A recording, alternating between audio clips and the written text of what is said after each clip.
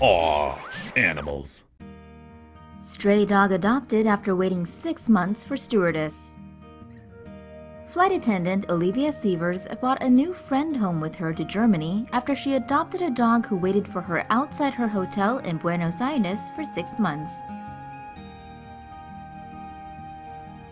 Sievers travels to Argentina frequently for work. There, she met a stray dog whom she later named Rubio. Sievers fed Rubio and played with him. He followed her back to her hotel and waited for her there, even when she returned to Germany.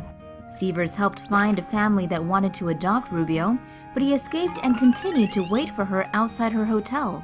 Sievers eventually relented and decided to adopt Rubio. He flew to Germany to live with her on Friday. In an interview with Noticiero Trece, Sievers said she didn't want Rubio to follow her at first, but she noticed that the dog really wanted human attention and, most importantly, a friend.